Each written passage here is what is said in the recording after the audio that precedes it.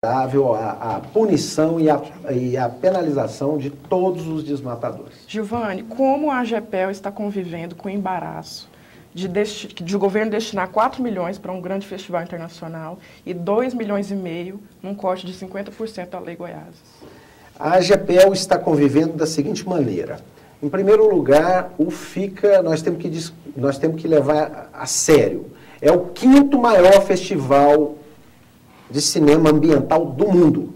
Se nós acharmos que isso é uma coisa qualquer, então, beleza, vamos fazer o que alguns, eu já vi no Twitter, na internet, alguns defendendo o fim do FICA. Seria o caminho? Eu acho que não. Agora, se for também para fazer um FICA meia boca, é complicado. Esse valor, 4 milhões, o governador autorizou até 4 milhões. Não significa que serão 4 milhões. Não é? Até 4 milhões. É, esse valor foi o que foi gasto historicamente nas edições do FICA. Não é? Então, eu acho muito difícil, a não ser que nós mudemos o modelo de gestão, e esse vai ser um debate central na discussão do novo FICA. Né? Eu acho, por exemplo, que a realização do FICA pode servir, por exemplo, para alavancar outras políticas, outras iniciativas de políticas públicas de cultura. Um exemplo, o edital do audiovisual. Bom, mas evidentemente que, como você já disse aqui hoje mesmo, é, a cultura não vive só de festivais. Isso. Né? A, a, política consistente da agência e futuramente Secretaria de Cultura, ela terá mais o quê? Quais são os componentes dessa política? Recentemente, é, foi muito bom você perguntar isso, Reinaldo. É, recentemente nós apresentamos ao governador é, um plano emergencial da cultura em Goiás. Hum. Nós pudemos dialogar com todos os segmentos, com todas as linguagens artísticas, com todos os grupos organizados não é? é da, que atuam é, no segmento, nos segmentos culturais, e nós apresentamos para ele uma pauta de 19 é, itens que mereciam ação imediata do governo do Estado. E eu tive a felicidade de ter do governador o apoio a todas elas. Apenas com observação, às vezes temporal, é, de que algumas delas, por envolver grandes somas, seriam um pouco mais postergadas para o segundo semestre. Mas nós teremos é, uma bateria de editais abrangendo aí vários segmentos da cultura que eu tenho certeza serão festejados por toda a comunidade artística. Você destacaria Eu estou muito otimista. Hoje, inclusive, é, hoje, inclusive, a nossa equipe na GEPEL foi finalmente efetivada e nomeada. Então, é, nós tivemos esse tempo todo passando aí um certo inferno astral, com muita dificuldade financeira, com uma equipe é, de trabalho muito reduzida ainda. E hoje, por coincidência hoje, à tarde, nós tivemos a notícia então da efetivação e da nomeação de toda a nossa equipe. Agora é tocar o trabalho, não é? Porque é, é, sem falsa modéstia, a nossa equipe é uma equipe qualificada, é uma equipe que é uma equipe que tem como marca realizar não é? E eu acredito que nós vamos realizar muito. E o Veiga Vale? Como é que vai ser a homenagem a esse nosso ilustre e antigo de, é, é, escultor e produtor de arte no momento em que isso era muito difícil dentro do Estado? Isso. Veiga Vale é um ícone, não é, da cultura goiana, não é? E é um ícone do barroco. É um ícone é, muito estudado, não só em Goiás como no Brasil e que completou o seu bicentenário alguns anos atrás e a GEPEL perdeu a oportunidade de homenageá-lo no FICA no ano do seu bicentenário. Nós quisemos corrigir esse erro. Né? Esse, esse ano o cartaz é São Miguel, né? São Miguel Arcanjo é, o, é, o, é a estátua dele, uma estátua linda, né? todo mundo está elogiando o cartaz do FICA, está lá uma das estátuas é, é, de Veiga Vale. Né? É, essa escolha está fazendo a cidade de Goiás muito feliz. A cidade de Goiás se sentiu muito homenageada com essa escolha. Eu acho que foi uma escolha muito feliz. E o Teatro Goiânia? Teatro Goiânia. Teatro Goiânia foi inaugurado com uma festa em outubro, é, com quase tudo por fazer. Não, é? não tinha nenhum tipo de equipamento de segurança em caso de incêndio, só para você ter uma ideia. Toda a parte dos bastidores, camarins, não estava completa.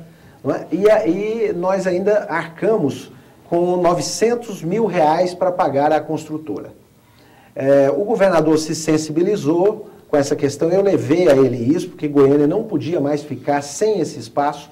nós conseguimos repassar um terço desse recurso para a construtora, os trabalhos foram, foram retomados, estão em plena atividade. Mas falta muita eu, coisa ainda? Previsão. Não falta muita coisa, mas são aqueles acabamentos que levam algum tempo.